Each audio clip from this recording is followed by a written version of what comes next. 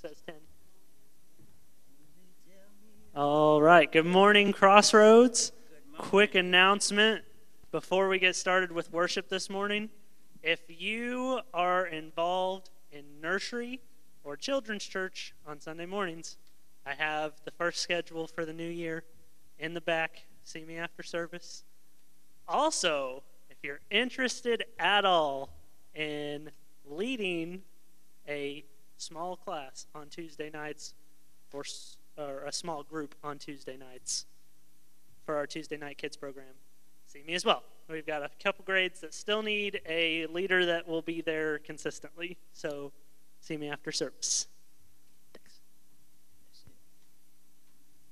Well, I'm definitely not the person that's usually up here, but we'll do what's best with what we got today.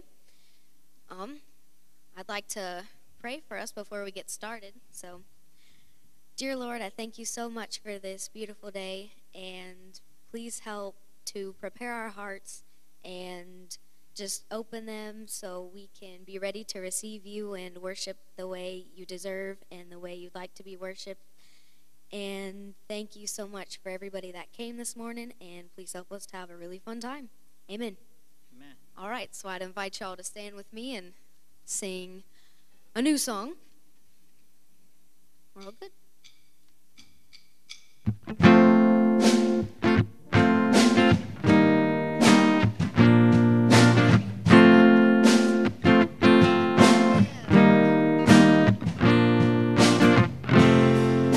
Ooh, I've been stacking up the years I spent trading punches with the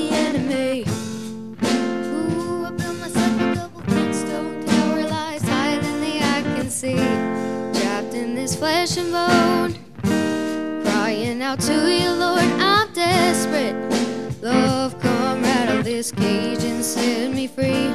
All of my fears, like the Jericho walls, gotta come down,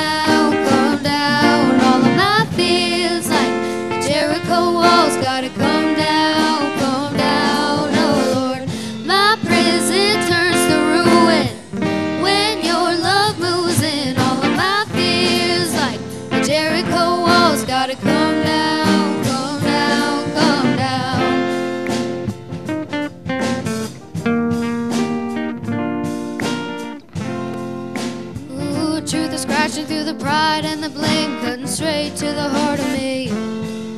Ooh, long before I ever called your name, you were fighting for my victory. Carved in your flesh and bone, the wounds that have set my soul's forgiven. Oh, now I can feel the darkness trembling. All of my fears, like the Jericho walls, gotta come down, Jericho walls, gotta come down, come down. Oh Lord, my prison turns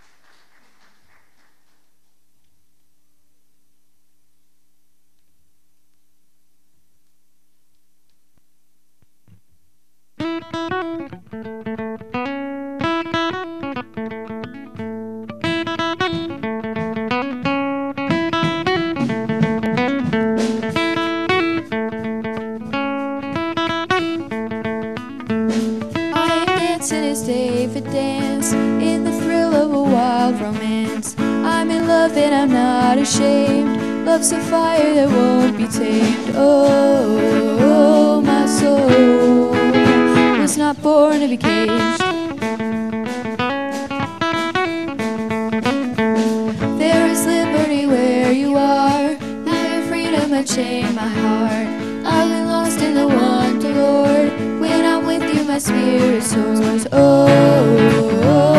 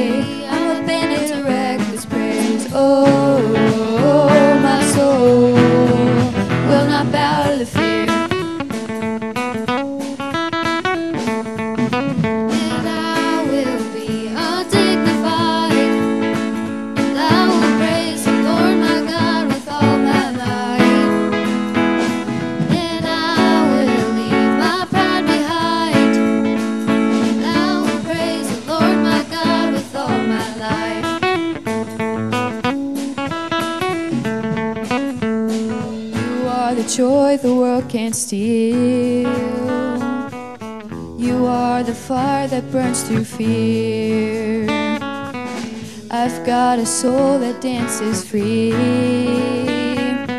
Cause this love is true, your love is real.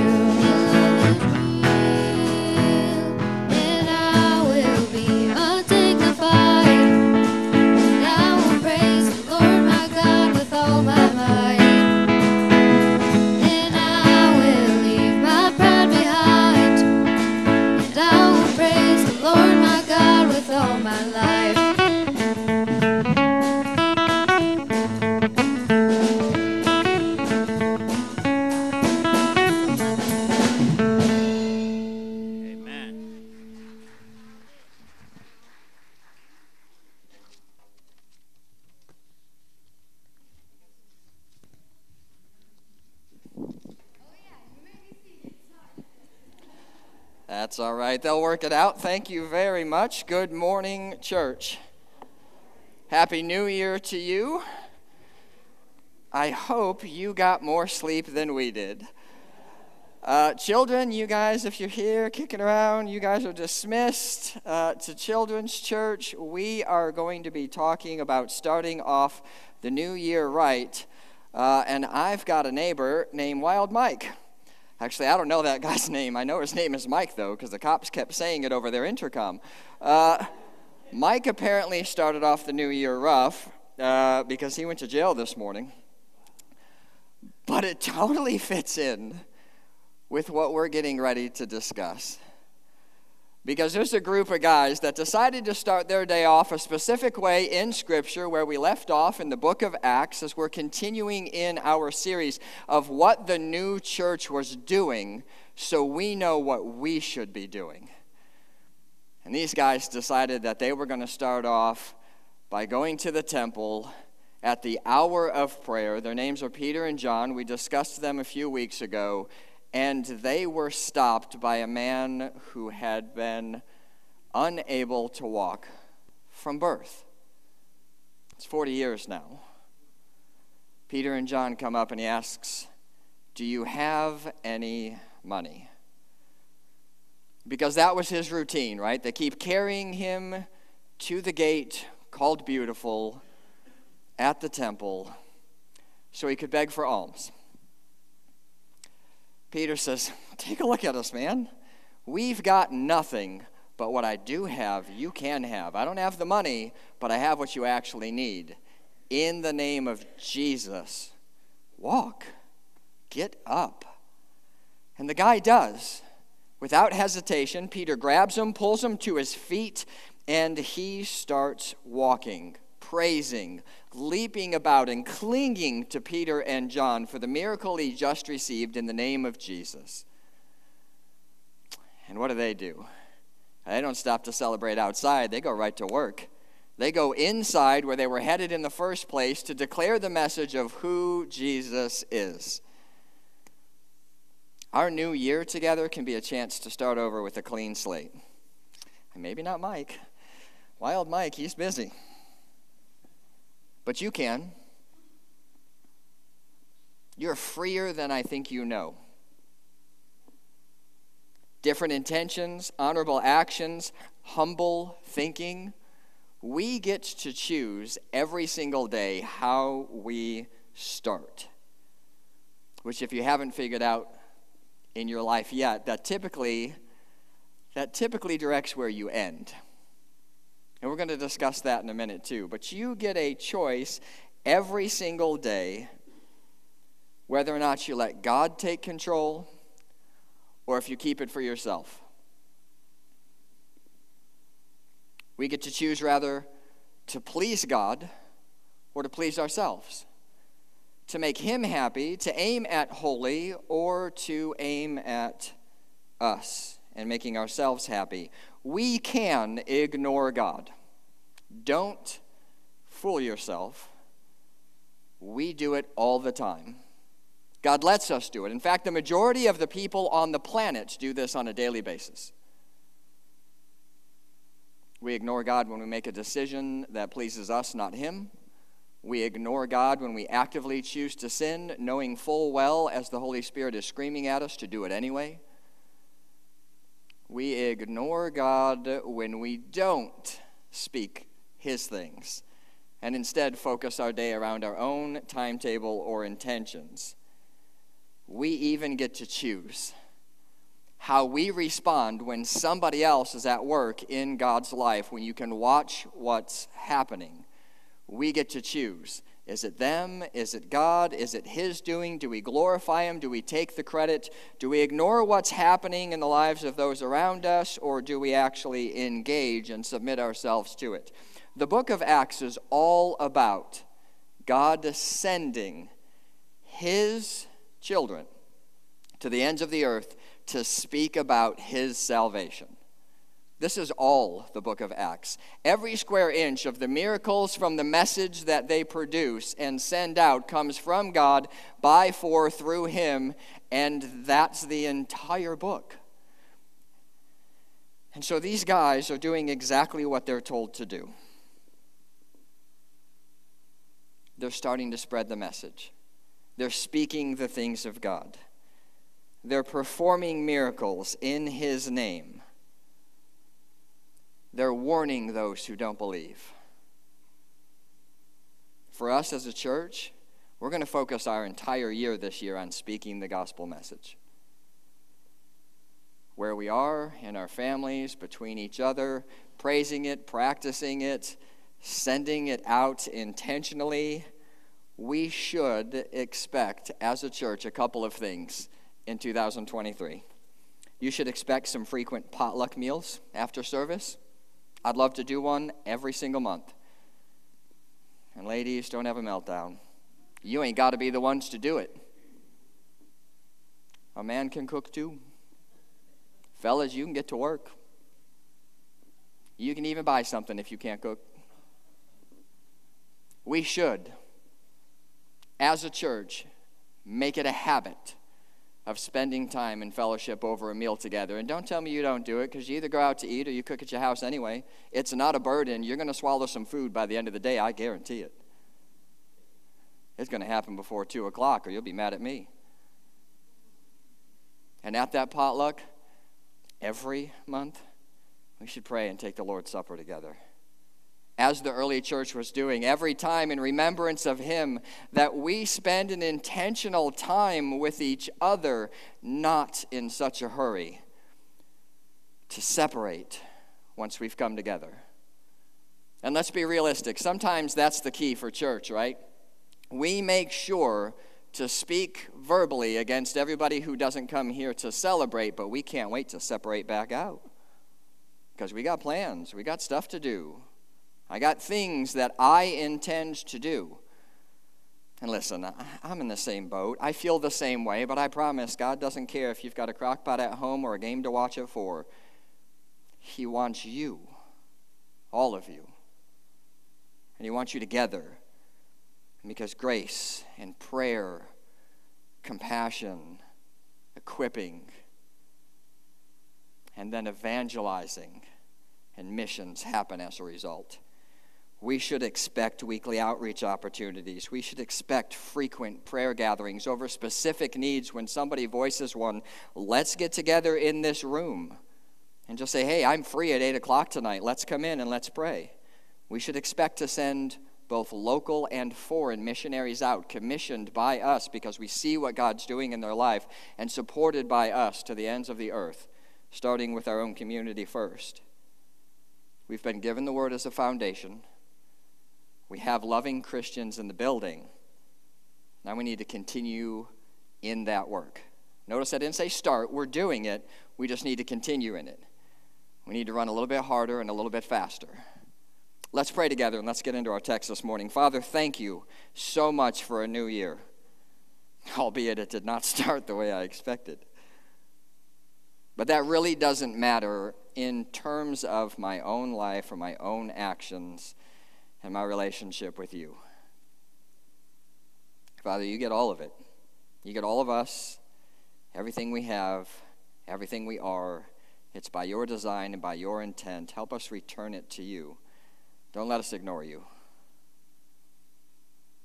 Speak so loud that we can't. Get rid of the things that get in the way and put us to work. Because anything we do for you got to be good. We pray this in Jesus' name. Amen. All right, so we're going to be reading in Acts chapter 4. If you got a Bible, open that thing up. Acts chapter 4, verse 1 through 22. Uh, and I promised uh, Erin that I would change the inflection of my voice and scream a little bit at you guys this morning so she doesn't fall asleep. Anybody else in that same boat? Who stayed up? Who stayed up? Ah, yeah, I got some night owls in here. All right, I'm just going to holler at you. Here we go. Acts chapter 4, starting in verse 1. I want to read through until verse 22, and we're going to discuss some things that we see in here. But here's what I want you to hear beforehand, and I'm going to repeat it to you after this. Faith comes through hearing, and hearing by the word. So, whenever somebody is reading the word, whether you're in a Sunday school, whether it's up here, whether you're having a conversation with each other, whether it's a text message, whenever you hear the word, Its design is to build faith. It does not return void. And so, as I read this, listen, and I'm curious what you hear. As they were speaking to the people, the priests and the captain of the temple guard and the Sadducees came up to them, being greatly disturbed because they were teaching the people and proclaiming in Jesus the resurrection from the dead. And they laid hands on them and put them in jail until the next day, for it was already evening. But many of those who had heard the message believed, and the number of men became to be about 5,000. On the next day, their rulers and elders and scribes were gathered together in Jerusalem, and Annas the high priest was there, and Caiaphas and John and Alexander, who were all, or who all were of high priestly descent. When they had been placed in the center, they began to inquire, By what power and what name have you done this? Then Peter, filled with the Holy Spirit, said to them, Rulers and elders of the people, if we're on trial today for a benefit done to a sick man, as to how this man has been made well, let it be known to all of you and to all the people of Israel that by the name of Jesus Christ the Nazarene, whom you crucified, whom God raised from the dead, by this name, this man stands here before you in good health. He's the stone which was rejected by you, the builders, but which became the chief cornerstone. And there is salvation in no one else, for there is no other name under heaven that has been given amongst men which, by which we must be saved. Now, as they observed the confidence of Peter and John and understood that they were uneducated and untrained men, they were amazed and began to recognize them as having been with Jesus. And seeing the man who had been healed standing with them, they had nothing to say in reply. But when they had ordered them to leave the council, they began to confer with one another, saying, What shall we do to these men? For the fact that a noteworthy miracle has taken place through them is apparent to all who live in Jerusalem, and we cannot deny it. But so it will not spread any further among the people, let us warn them to speak no longer to any man in this name. And when they had summoned them, they commanded them not to speak or teach at all in the name of Jesus. But Peter and John answered and said to them, Whether it is right in the sight of God to give heed to you rather than to God, you be the judge. For we cannot stop speaking about what we have seen and heard. When they had threatened them further, they let them go, finding no basis on which to punish them on account of the people, because they were all glorifying God for what had happened. For the man was more than 40 years old on whom this miracle of healing had been performed. Wow, that is so much fun. I can't wait to get in there. The question stands, though what did you hear? I want you to really take some time and think through, especially whenever somebody is reading scripture or speaking to you about it. What do you hear? Not what do you hear from the commentator or the commentary. What do you hear from scripture itself? I'm going to do my best to stick with this this morning. Because this design is for you to be stronger in faith than when you walked in this morning. Let's continue in this. First thing I heard Peter and John have true conviction. True conviction. It seems hard to come by these days. Where you find somebody who's willing to stand up and give an account for Jesus in absolute tyrannous chaos and still have the same level of conviction. Peter and John roasted them. The things that they said to their face in council, and listen, the council that they're together with, they are the guys in charge of everything. If the spiritual guys in charge in their culture called you a blasphemer, that's death. You can forget family, you can forget marriage, you can forget future, money, selling goods, coming to the temple, having your sins forgiven. No, you just got a sentence directly to hell if that's what they declare of you.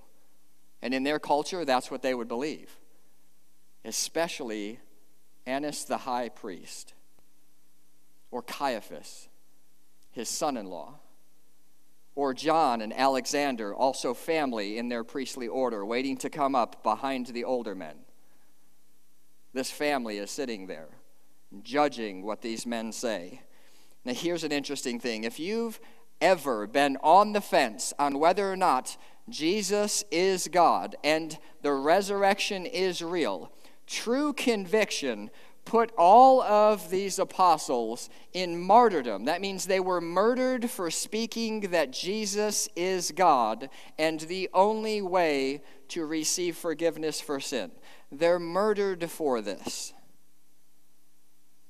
Who in their right mind, after having seen their king or their God or their prophet or their rabbi or whatever it is they thought about him, tortured and murdered, would go around town still speaking the same message to the same guys that just murdered him if they didn't also see him alive.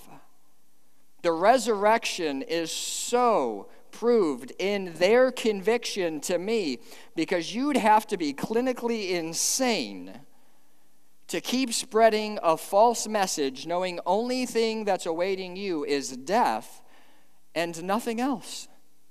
If you did not see Jesus resurrected from the dead and commissioned to go and do the same work and still have the same power being filled by the Holy Spirit to speak the message and to perform miracles, you would have to be completely off your rocker. It doesn't make any sense. Unless there's true conviction. Peter and John are so convinced Jesus is alive that they go and say things to the rulers and the elders and the scribes that are all gathered together for their trial. And the guys that put him over there, they're the Sadducees. They don't believe in the resurrection from the dead at all.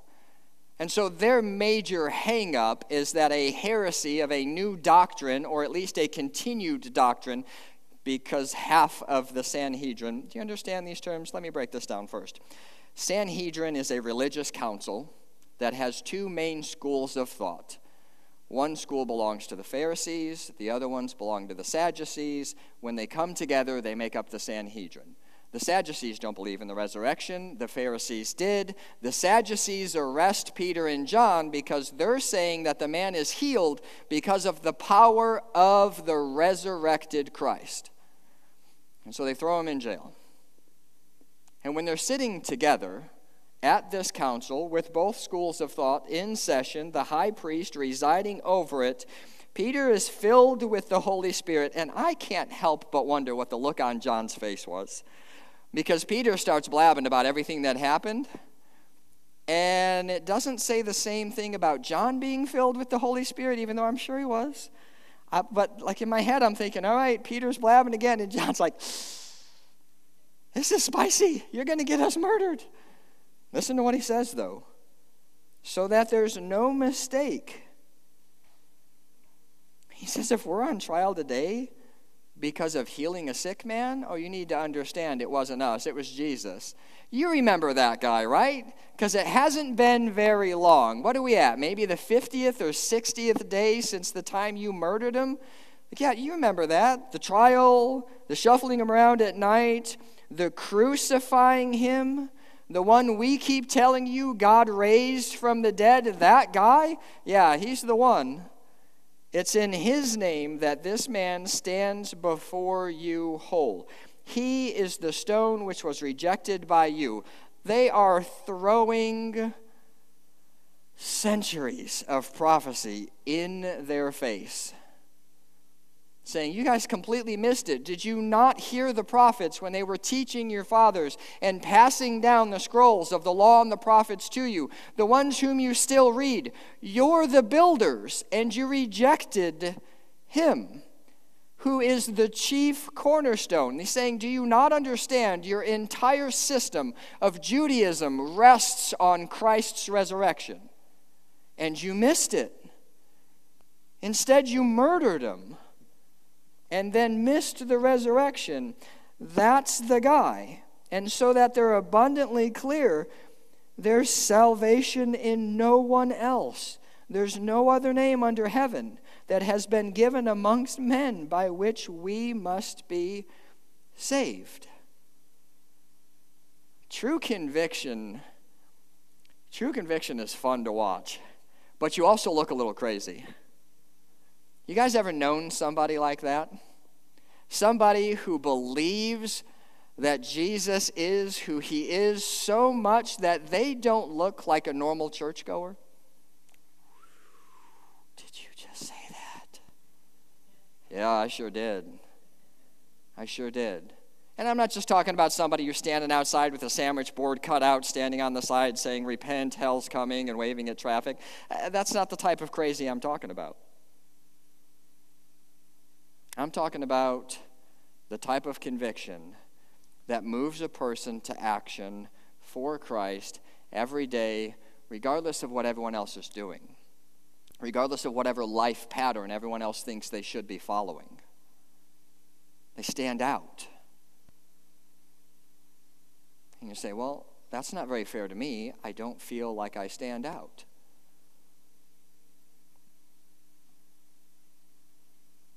If you don't believe that you, that you don't stand out from the crowd for Jesus, can I encourage you to take a wild step into something new? Anything new. Because it may be that you are exactly where God wants you to be for whatever is coming next. And there's always something coming next because there's always another person who needs to hear the gospel, and their life is always different than yours. There's always something next. I'm not suggesting for a second that if you're the type of person that sits at home and faithfully prays for everybody, that you don't stand out for Jesus because you do. I'm just suggesting that if in your own convictions you do not believe that you stick out at all for Jesus, something needs to change if you belong to Him. You need to stand out for Jesus. Your convictions cannot be hidden no more than a light or a city on a hill. Your convictions drive action, they drive decisions. They were willing to die for a resurrected Christ that they had seen murdered and then resurrected, even though what they're saying is Jesus is God, He is forgiveness for your sin, and they should have been murdered right there. According to Judaism, they should have been stoned to death, drug outside the temple, thrown into some rocks, and had them thrown at them until they were dead, and then left there. That's what should have happened if the religious leaders were following their religion to the law, to the letter. Imagine being told by God on earth to follow me, all you have to do is tell the truth. And when you do, they're going to kill you for it. Would you still belong to them? Would you still follow them? Here's another thing that I heard in this section conviction drives personal choice. There's no way these guys were going to go back to what they were doing. There's no way that their life wasn't going to be changed. There's no way after seeing a resurrected Christ that they weren't going to get busy with the gospel and speaking the good news. Their entire world was different. And there's nothing else they could do but follow. There's nothing else they could do but obey. They saw something that shouldn't have been possible, but with God, all things are possible. So they run after it. They intentionally set out to speak about Jesus. I'm going to take you backwards in Acts just a little bit to Acts chapter 2, and I want to read verse 14. Acts chapter 2, verse 14 says, But Peter, taking his stand with the eleven, raised his voice and declared to them, Men of Judea and all who live in Jerusalem, let this be known to you and give heed to my words. Peter can't help himself. He has got to say something. He's got to talk about Jesus. Uh, let me bring you to Acts chapter 2, verse 22 through 24. It says, Men of Israel, listen to these words. Jesus the Nazarene, a man attested to you by God with miracles and wonders and signs which God performed uh, through him in your midst, just as you yourself know. This man, delivered over by the predetermined plan and foreknowledge of God, you nailed to a cross by the hands of godless men and put him to death. But God raised him up again putting an end to the agony of death since it was impossible for him to be held by its power. He cannot help but speak about the things of Jesus. His convictions are driving his personal decision. Let me read to you another one. I got a few more that I want you to hear. Because all of these things are happening, overlapping each other. In Acts chapter 2, verse 33, it says, Therefore, let all the house of Israel know for certain that God has made him both Lord and Christ, this Jesus who you crucified. Acts chapter 3, verse 16, Peter doesn't stop. And on the basis of faith in his name, it is in the name of Jesus which has strengthened this man whom you see and know, and the faith which comes through him has given him his perfect health in the presence of you all and then where he's standing now in Acts chapter 4, starting in verse 8. Then Peter, filled with the Holy Spirit, said to them, It's an interesting thing. Do you think for a second that if their personal convictions had not driven their personal decisions, that they would still be in the same position to be used by the Holy Spirit? Well, the answer is no. Clearly not, because they're the only two standing in the temple right now being questioned about what they're speaking about in Jesus' name. The other guys, they may be speaking somewhere else, they might not. We're not told, but what I am told is the convictions of Peter and John bring them to the temple to speak about Jesus. And because their personal decision to obey and follow in those convictions and faith in Christ leads them to a perfect place to be used by the Holy Spirit. And it wasn't what they planned. They were planning to go up. They were planning to be there with the people and to speak about Jesus. Instead, they got a man that needed to be healed. That man drew a crowd for them, and the Holy Spirit did all of the work through them because they were willing to be used. If you wish to be used this year, are you going to have to be flexible? Whatever it is you got planned, no. I got a ton of them. I got a ton of things that I would like to do, personal and uh, professionally. I don't know what to call this. like, as a pastor, But if you're not flexible, I don't think you're going to see the Holy Spirit at work in you. Not the way you could. Not the way you should. And I'm not suggesting for a second that the Holy Spirit isn't in you, sealing you for the day of redemption. There is a difference, though, between belonging to God and being filled with the Holy Spirit. These things happen when you're in a position to be used fully for His glory and for your good, but it comes through your flexibility and determination to take action according to your convictions. I believe every person in this room has the same convictions. We believe Jesus has died for our sins and has been resurrected from the dead, unless you've never made that decision for you. But if you have, I can also guarantee, I fully believe, not everyone's actions in that conviction is the same. And you say, well, Chris, of course they're not. There are different parts of the body. Yeah, but there's, there's a different pace to which each of those parts walk. Each of us has a different function, but we're supposed to be walking at the same pace. Does that make sense? I hope that makes sense. If not, I'll be in my office, not tomorrow, but on Tuesday. What are your convictions driving you towards, church? That's a good question for this year. Is it a bigger house? Is it more rest? Maybe your convictions are waning and it's driving you towards extramarital relationships. Cool. Can you say that? Yes. Because it's the truth. Maybe your convictions are driving you towards some non biblical coping mechanisms like addictions. Maybe your convictions are driving you towards more self care and more time for you. Can I suggest whatever's influencing those convictions needs to be cut from your life? They're the wrong influence or the wrong influencer. Here's something else that I heard too your decisions, they determine your impact.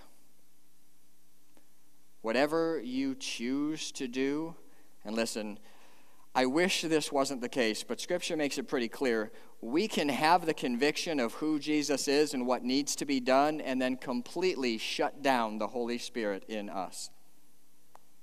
Did you know that you can do that?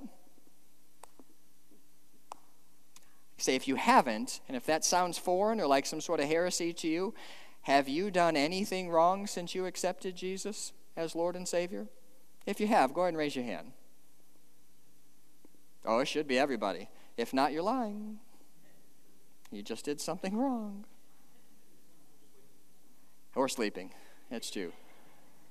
It's an interesting thing that God allows for His creation or His children to know the truth, to believe in it, to build faith up in it, and then whenever we find it convenient, to turn it off. And don't mishear me. I'm not saying you turn off salvation. I'm not saying you're turning off belonging to Jesus. Uh, but you can sure choose to do what's wrong. I know you can. I know I can. I know you have. I know I have. Your decisions determine your impact. Notice I did not say your convictions. Because unfortunately, if we're being honest, church, our average day does not get guided by our convictions. In fact, our decision making process weighs what we believe against what we want. And we choose what we want versus what we believe.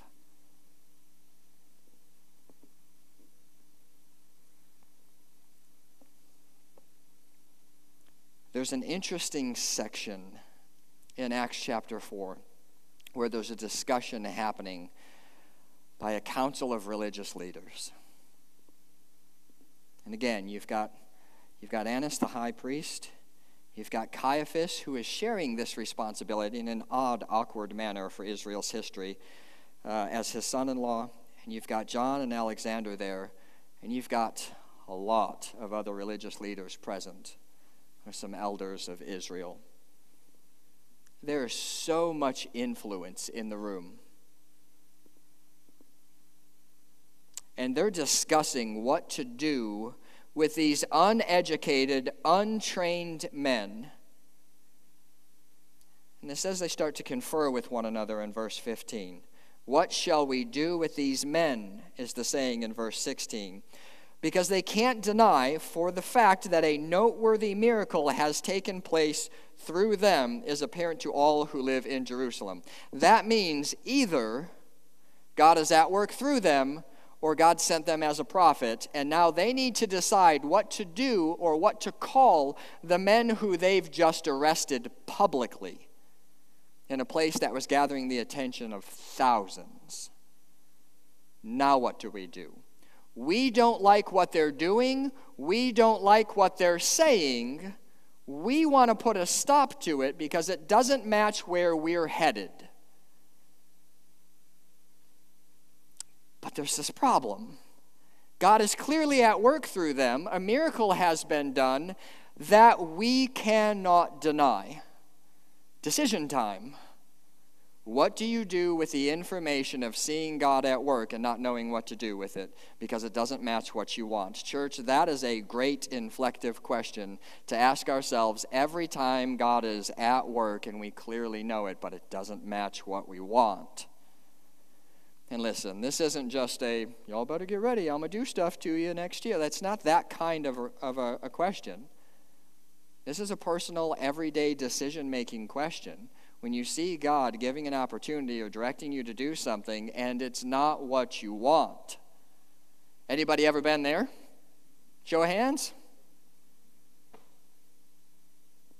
Like every day. Could you imagine if this group of men answered their condemning accusations from Peter through the Holy Spirit with humility and repentance. Hearing the truth, being unable to deny it, they do not repent. They don't seek for more information. They don't ask them to continue. They don't rip their garments and put ash on their head for killing God in flesh. Because repentance is scary, right? It means I can't be what I used to be. No, not really. That's the thought, though, right? Like, if I repent, does it remove faith? Does it remove leadership, influence, holiness? No, it actually builds all of those things up. Repentance does the exact opposite of what the human heart tells you it does, because it's deceitfully wicked above all things. Our nature is sinful from birth because we're under the blood of Adam and under the curse. And so you get lied to and told repentance would be a negative thing, that it somehow damages you and the way other people look at you. Here's what I think about that. If somebody looks down at you because now they know what you've been up to because you've repented over it, they can leave the building and never come back. Ooh, can you say that as a pastor? Yes, until they're ready to repent. And then they're gratefully welcomed back. Church discipline is a crazy thing, by the way. Its design is to drive humility and repentance. Peter and John are enacting the very first round and making a public accusation about a spiritual leader, about spiritual leaders about their entire system, saying, Now is the time. And if those men had repented and had followed after Jesus, they would have lost nothing and gained everything. They could have quickened the shift from Judaism to salvation in Christ and gotten rid of all of the turmoil for the next 40 years for the men that are doing this work. There should have been a culture shift. But instead of helping God's people step into the knowledge of who Jesus is, they took the veil that was torn in two and quickly threw it over the eyes of everybody that was watching limiting the access to who Jesus was by arresting the men who are speaking the message about what people just watched them do in the name of Jesus. If they had humbly submitted to the truth of what had happened and repented, they too would have been saved. And then Peter and John and the rest of the apostles would have been giving sermons in the temple about the goodness of God and about his Christ. But instead, one of their own is going to receive a letter real soon to be able to kill Christians so that that message might get stopped. Their conviction based decisions took them to a place that was different than the conviction based decisions of the apostles. I feel like you definitely need to hear that. Just because you believe something does not mean you're right. That's a piece of my own medicine, by the way, if you're wondering. Just because I believe something does not mean I'm right. Just because you believe something does not mean you're right. From a conviction standpoint, in Acts chapter 4, both ends of that scale are deeply rooted in their belief. We believe what we are doing is right. Clearly, both of them cannot be. Clearly, one of them is not. But it doesn't stop both sides from believing that they are. And it doesn't stop both sides from taking that conviction, putting it into a decision, and then driving an impact. So, as much as you need to make an impact for Jesus, please make sure in the new year when we step forward in faith, in ministry, in process, in programs, in prayer, that our decisions are actually honoring God. And they are driven by the Holy Spirit's leading, because if not, our convictions are useless and they're damaging. That needs to be something in the forefront of every believer's mind that my convictions actually match what Scripture says and the Holy Spirit is leading my actions. Because if not, our convictions are awful. Here's another cool piece that I want you to see before I close us out. One of the coolest parts of Scripture for me is found in this section. In Acts chapter 4, verse 13, you've got, again, picture the whole scene a man's healed. He's leaping and dancing and hugging all over John and Peter as they come into Solomon's porch. They draw a crowd. They're teaching about Jesus. The guys get arrested. They're set in the middle of the council. The council has no idea what to do with them. And here's the reason why in Acts chapter 4, verse 13. Now, as they observed the confidence of Peter and John, that's the first part. Confidence is good. If your convictions are spirit led, and clearly he was, because he was filled with the Holy Spirit, and understood that they were uneducated and untrained men. How I long for that. I have a ton of student loan debt because our world does not want uneducated and untrained men. If I had it to do over again, I'd have scrapped through it without getting a degree. You're hearing me say that out loud, right? Okay.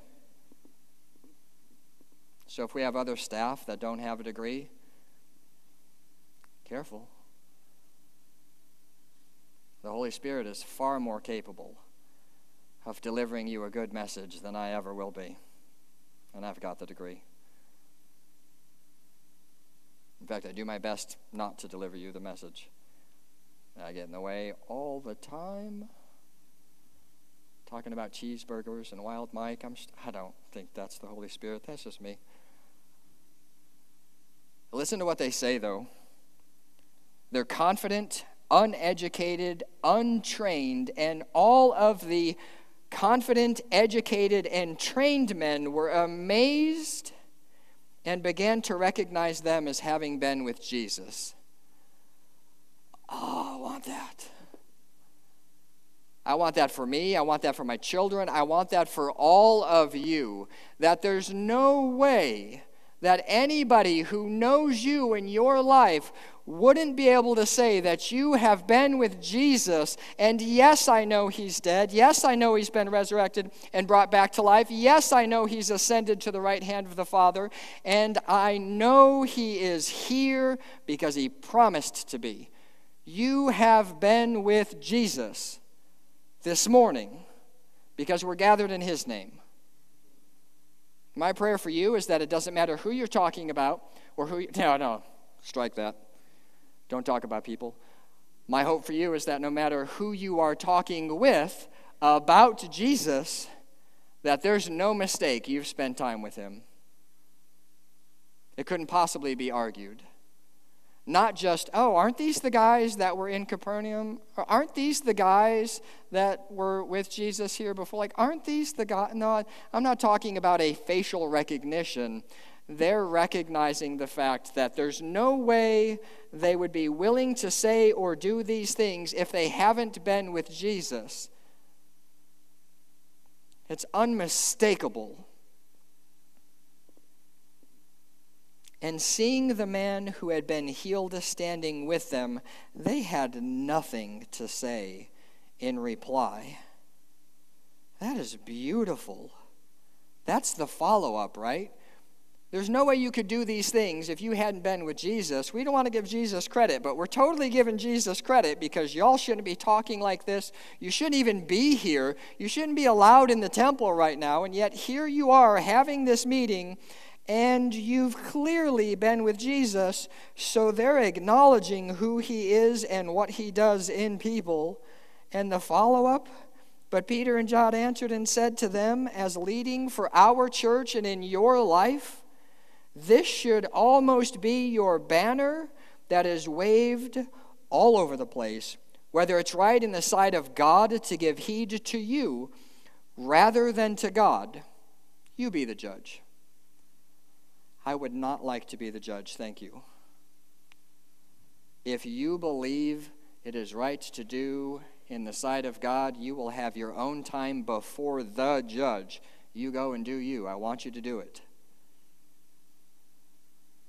But if somebody is telling you, oh, you shouldn't be doing that, and you're doing that for Jesus, uh, nope, I'm not listening to that. You can judge for yourself whether you think I should be doing something for Jesus or doing what you tell me to do, but I promise it's going to be doing something for Jesus, not what you want. It should be the same for you. My household is run this way, my marriage is run this way, my children are run this way, the church is going to be run this way. That should be an amen. Don't say it. Mm, mm. I'm hoping that is an amen in your life, in your own personal convictions. That you would rather do what pleases God than what pleases others, no matter who is telling you to do what. It doesn't matter if a parent is telling you to do something that God has told you not to do, or, or telling you not to do something that God is telling you to do, you had better run at it. It doesn't matter if a member of the church is telling you, oh, you really shouldn't do that, if God has told you to do it, you better run at it. But take warning. If God is leading you, it cannot fail. You better run at that thing. But if it's you leading you, oh, you should expect some real, real failure. And I'm not just talking about friction because all of these guys got killed for Jesus.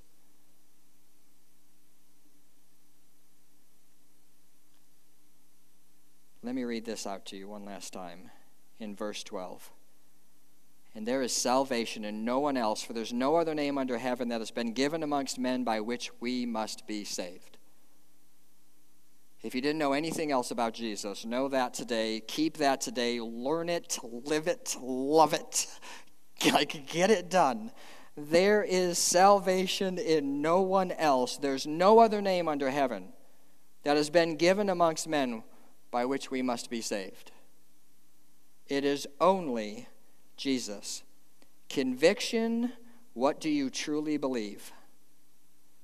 Decision, daily choices made by you alone impact the way you affect other people around you.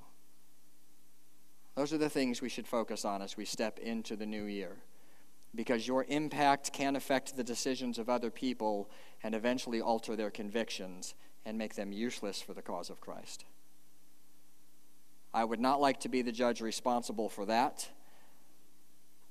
I would much rather everyone who knows us, our members, the people who are visiting, anybody who engages in any of our programs, knowing full well we have been with Jesus, and there's nothing we can say in reply.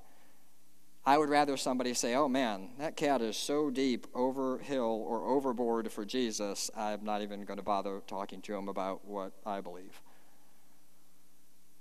But I'm sure going to go talk to them. I'm going to pray for us. We're going to have another worship song. We're going to pray. We're going to praise starting the new year off together right is so important. I'm so glad you guys are here. Um, I can't wait to see what God is going to do with us because He's already doing things. There's so much opportunity for local missions here, especially since Corner's attached to us. Like so much opportunity to reach families uh, across the world. Um, we'll see what happens with it. Let me pray for us. Father, thank you for being good. Not just like good, you've done something nice. Thank you for being holy because it's something we cannot do. Thank you for being what I cannot be, which is holy. Thank you for giving me the righteousness of Christ. Thank you for giving us the Holy Spirit to follow, to direct us to guide our paths, to lead us into every good work that you've planned.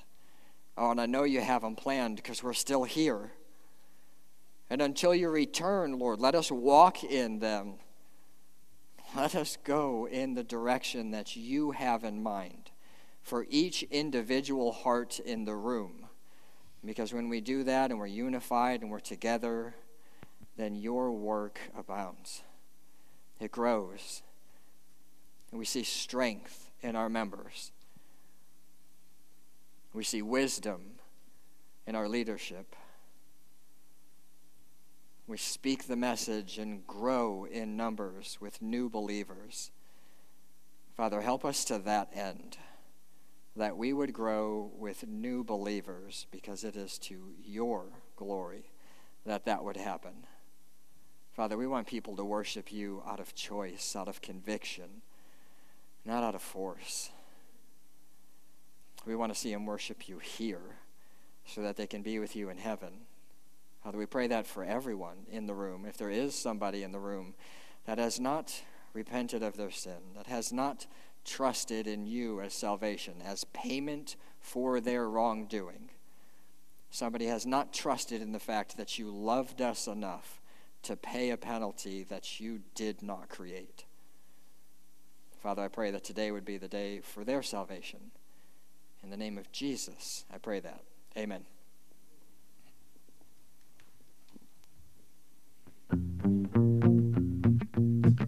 And stand up.